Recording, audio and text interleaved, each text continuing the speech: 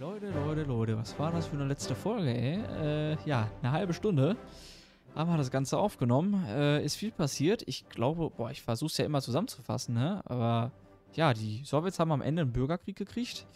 Äh, die Briten haben ja, der Rheinlandbesetzung auch entgegengewirkt, äh, sodass ja, das Rheinland immer noch demilitarisiert ist und wir zudem jetzt ein Bündnis mit Italien haben und mit Britannien und deren Marionetten. Ja, Britannien ist jetzt erstmal im Krieg gegen Pakistan, da, kommen wir jetzt erstmal, da gehen wir jetzt erstmal nicht mit rein. Wir haben ordentlich Stabilität, wir haben ordentlich ähm, Kriegsunterstützung und ja, haben jetzt ähm, gleich defensive Strategien abgeschlossen und haben damit dann die gespaltene Regierung weg und kriegen dann endlich mal wie jedes normale Land äh, über einen politischen Macht pro Tag und nicht nur 0,5 oder was wir jetzt kriegen. 0,49. Ja, und dann würde ich sagen, ja, unsere Armee haben wir noch ein bisschen aufgerüstet. Also ich glaube jetzt 15 Divisionen, wenn wir die jetzt auch noch reingepackt haben, haben wir dann zusätzlich reingepackt.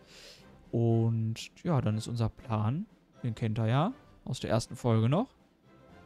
Ähm, erstmal Deutschland kaputt zu machen und danach dann Italien rausschmeißen, die fertig machen und dann die Benelux-Staaten angreifen, ne? Genau, wir haben jetzt aber irgendwie einen Bug, das ist ein bisschen scheiße, muss ich sagen. Äh, nämlich, dass die Media, Media Idea oder sowas, also von Griechenland diese Idee, die wir, die wir mit Ja abgestimmt haben, äh, nämlich, dass sie die Türkei hier besiegen wollen, dass das jetzt immer wieder bestätigt wird und wir dieses Event immer und immer und immer und immer und immer wieder kriegen. Das ist sehr, sehr nervig, aber ist jetzt halt so. Ähm, ist jetzt immer noch eine Aufnahmesession. Mal gucken, wenn ich das Spiel speichere und das nächste Mal wieder reinkomme. Genau, diese, die kriegen wir jetzt immer hier, dieses Event.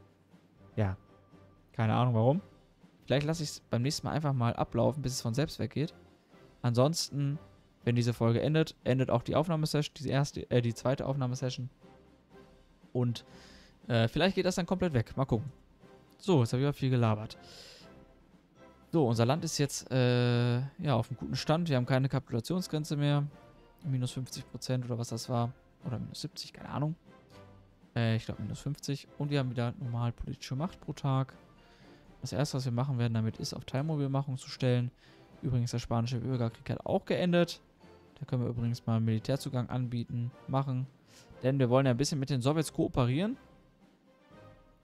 Wir haben zwar so den rechten demokratischen Weg hier genutzt, hier, ne, den nationalen Block wiederbeleben und nicht den linken demokratischen, die Volksfront bilden. Ja, ich finde immer, das hier ist wirtschaftlich ein bisschen stärker. Aber vor allem, wenn man kommunistisch wird und der faschistische Weg, das ist sowieso sehr stark, ne, aber wenn man komplett, also ich finde, Frankreich ist echt am stärksten, wenn man komplett faschistisch wird. Aber kann ja jeder für sich selbst entscheiden. Ich, ist meine persönliche Meinung, also ich finde das. Und Jugoslawien, genau, in der letzten Folge, die haben es ja geschafft, hier äh, immer mehr Marionetten herzustellen. So, wir lassen diese, dieses Scheiß-Event, lassen wir jetzt einfach mal alleine von sich aus sich beenden. Die Münchner Konferenz, jetzt wird es interessant, Leute. Die deutschen Forderungen an die Tschechoslowakei auf Abtretung des Sudetenlands, wo eine bedeutende Anzahl Volksdeutscher lebt, haben zu einer Krise geführt. In Vorbereitung eines Angriffs hat Hitler Truppen an der tschechoslowakischen Grenze positioniert. In der Hoffnung auf eine friedliche Lösung der Sudetenkrise werden in München derzeit Verhandlungen zwischen England, Frankreich, Italien und Deutschland geführt. Die Briten haben klargemacht, dass sie nicht beabsichtigen, wegen einer Streiterei in einem weit entfernten Land in den Krieg zu ziehen. Sollen wir ihrem Weg folgen oder werden wir unseren Verpflichtungen der Tschechoslowakei gegenüber nachkommen, indem wir ihnen unsere Unterstützung anbieten? Ja, wir sind jetzt schon an diesem Punkt angekommen, an dem ich ja gesagt hatte, ja, da müssen wir eigentlich in den Krieg eintreten. Aber Deutschland ist jetzt ganz schön stark, die haben nämlich Österreich und wollen sich jetzt auch noch das Sudetenland unter den Nagel reißen. Verflucht sollen die Briten sein, Frankreich unterstützt seine Verbündeten. Äh, ich weiß gar nicht, was dann passiert. Ich will ehrlich gesagt nicht dass die Briten jetzt hier bei uns ähm, ausgeschmissen werden. Da steht's auch. Vereinigtes Königreich erhält das Ereignis, Frankreich kündigt Bündnis. Das wollen wir nicht. Da müssen wir das. Nee, das macht keinen Sinn. Alleine gegen, äh, das war ein übelster Voice Crack, sorry. Alleine, beziehungsweise, wir haben halt noch Italien, ne? Ich weiß halt nicht, wie viel hat Deutschland denn? Ja, es ist so viel. Das schaffen wir nicht. Also, wie viel hat Britannien? Das brauchen wir gar nicht probieren. Ja, gut. Ach, jetzt habe ich das Event hier weggeklickt. Dann stehen die Tschechen jetzt alleine da, ist dann halt so. Dann wird der Krieg gegen Deutschland normal na, ein bisschen stärker, ne? Ein bisschen härter.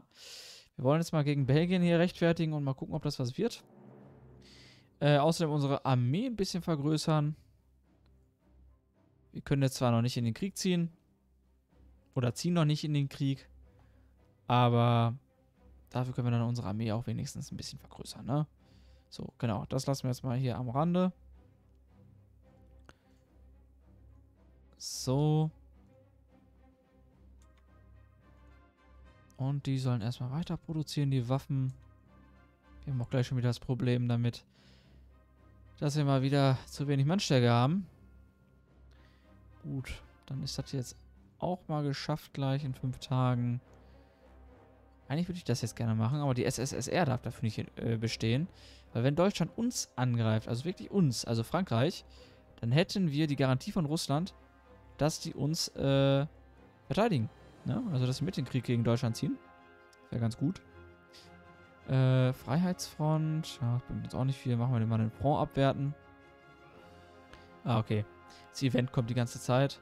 Egal. Ich hoffe, dass es nach der nächsten Folge dann endlich weg ist. Äh, nee, am Ende dieser Folge endlich weg ist. So. Okay. Dann sind unsere Fabriken gleich auch fertig. Probieren wir hier noch ein bisschen äh, Infrastruktur zu bauen. So hier auch, wo wir ein paar Ressourcen haben. Oh, jetzt haben wir nur noch 8000 Mann hier. Freie Mannstärke. So, und jetzt gehen wir auf Teilmobilmachung. Und jetzt geht's wirtschaftlich voran, Leute. Jetzt geht's richtig. Jetzt geht's richtig ins Vorne, aber richtig. Ähm, ja, wenn Deutschland jetzt gleich angreift, beziehungsweise erstmal werden jetzt gleich die Tschechoslowakei einfach annektieren. Ist ja unwahrscheinlich, dass die Tschechen sich noch wehren können und wollen. Äh, wenn die uns aber angreifen, wir im Krieg sind oder wie auch immer, dann können wir erstmal hier einmarschieren in die ersten Regionen. Äh, werden wahrscheinlich, ich denke mal, hier ungefähr gestoppt, also genau vor dem Fluss stehen bleiben, was schlecht ist, denn dann kommen wir nicht weiter. Großreich Litauen, diese werden sogar faschistisch. ETF? Ah, okay. So. Jetzt ist unsere Armee schon über eine Million groß. Das ist ganz gut. Das können wir sehr gut gebrauchen. Den Front abwerten können wir noch besser noch, noch mehr gebrauchen. Da haben wir nämlich unsere Fabriken für Konsumgüter minus 16%, glaube. Genau. Und sind die immer noch im Krieg gegen Pakistan? Ey, das gibt's nicht. Krank. Wie viele haben die denn schon da gelassen an Toten? 173.000. Ey, aua, aua, aua, aua. Das tut weh. Ja, ähm, unsere... Wir haben hier noch... Ey, wir haben hier noch Luftwaffe hängen. So, können wir hier weiter forschen. So, hier haben wir keine Luftwaffe mehr. Ich würde mal sagen, wir ziehen mal unsere gesamte äh, Marine ein bisschen zusammen hier. Und zwar nach hier. So. Und dann wollen wir jetzt mal Basisstabilität. Machen wir mal das hier. Kriegen wir mehr, ähm, kriegen wir mehr äh, Infrastruktur. Und die sind jetzt im Krieg gegen den Irak. Da, sei euch ehrlich, da will ich auch mitziehen. Denn Öl aus dem Irak zu bekommen, das ist sehr praktisch und sehr attraktiv. Was ist mit denen denn falsch? Jetzt greifen die die Niederlande an. Was geht denn jetzt ab? Okay. Okay, alles klar. Sollen sie mal, sollen sie mal machen. Und den Iran auch noch. Okay, okay, alles klar. Können sie gerne machen. So, ach, wir haben gar nicht genug. Nice. Gar nicht genug Mannstärke für den Scheiß gerade. So. Truppen sind gleich da. Nur wir haben gleich auch Krieg gegen Belgien, das dürfen wir nicht vergessen. Das ist jetzt ziemlich bald. So. Pakistan und den, der Irak. So, dann greifen wir mal mit an. Ja, wir sind sehr friedlich, wir Alliierten. Sehr, sehr friedlich. Kennt man doch von uns. So, dann machen wir hier mal Kriegspropaganda. Das können wir gut gebrauchen gerade. Äh, 1%, 2% haben wir. Ah gut, da wird aber auch noch der Krieg gegen Pakistan mitgezählt.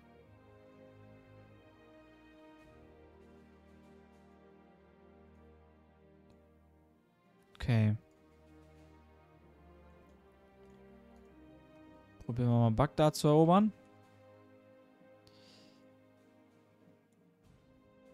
Weiß nicht, ob man es gehört hat, aber mein Magen hat gerade übelst geknurrt. Übel, aber richtig. Ich glaube, man hat es nicht gehört. Kommen die jetzt alle rein oder was? Nee, wir haben Krieg gegen so viele, ne? Und eigentlich sind jetzt auch noch Belgien, ist auch noch Belgien jetzt dran.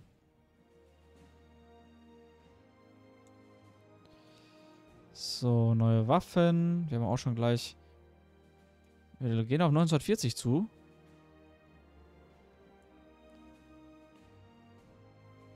Ich hab gar keinen Bock gegen den Iran, ne? Ich will eigentlich erstmal Belgien klatschen.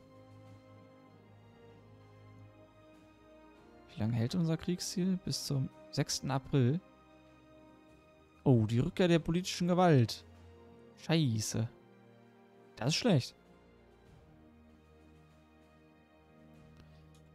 Okay. Mosul möchte ich echt gerne haben. Ja, was ist das denn für eine Aufteilung? Ja, komm, egal. Nehme ich einfach. Ist auch egal. So. Und ab nach Belgien. Ich glaube nämlich nicht, dass wir die so schnell jetzt erobern, die, ähm, äh, die Iraner. Ich glaube nicht, dass es klappt. Aber gut. So, mein Magen hat mal wieder geknurrt. Ich bin dann immer ganz still. Weil dann vielleicht blendet mein Mikro das aus. Ja, ganz gut, glaube ich. Gut, Kriegs... Oh, was ist jetzt los? Achso, China hat kapituliert. Da will ich lieber nicht hingucken. So, Autobahnen. Was können wir jetzt machen? Freiheitsfront. Jetzt könnten wir eigentlich diese politische Gewalt entfernen, ne? Ich glaube, wir machen erstmal hier wieder Bewaffnung der Marine. Dann kriegen wir nochmal vier Schiffswerften und ein bisschen Erfahrung. Vereinigtes Königreich setzt Flottenabkommen durch. Okay. Haben gar kein Interesse daran, die Tschechoslowakei zu annektieren anscheinend. Zumindest noch nicht. Das hier würde ich gerne machen. Das kostet aber 50. 50 Armeeerfahrung. Aber uns fehlt es enorm an äh, Mannstärke, ne? Deswegen setze ich jetzt mal auf umfangreich.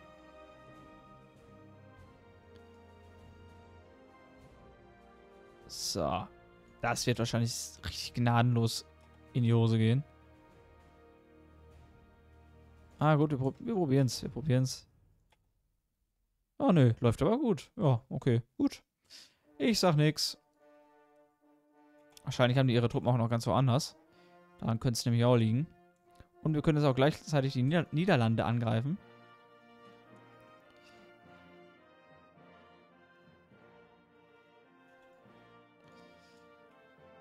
So.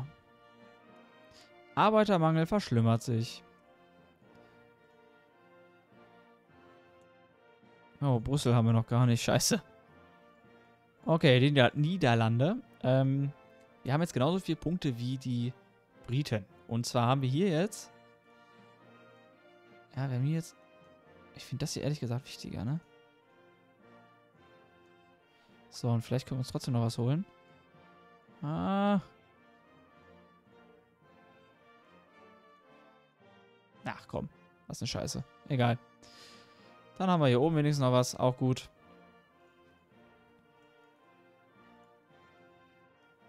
So. Die Niederlande, eine Marionette der Briten. Wer kennt's nicht? Einfach immer so. So.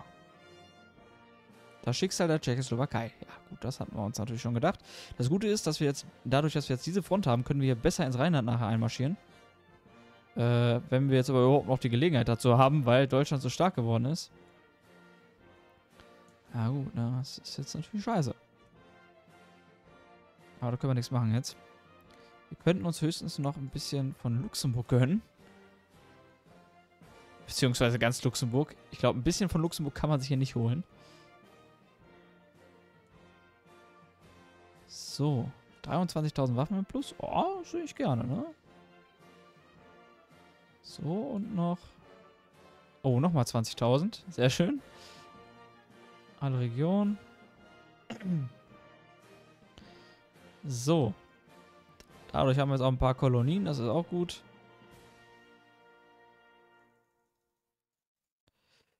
Okay, wie groß sind eigentlich diese... Ah, 18. Machen wir mal so. Okay, gut. Ach, wobei... Ich habe echt Angst, dass die Deutschen uns angreifen, ne? Aber... Wir müssen eigentlich hier bei Pakistan mal helfen. Oder hier beim Iran, meine ich eher sogar. Wenn wir gleich Truppen ausgebildet haben, dann können wir die ja immer noch dahin packen. Ja, aber Leute, ich würde sagen, wir sehen uns in der nächsten Folge. Wenn euch die Folge gefallen hat, dann zeigt mir es gerne mit einem Daumen nach oben, einem Abo oder einem Kommentar. Und ansonsten sehen wir uns in der nächsten Folge. Bis dahin. Ciao.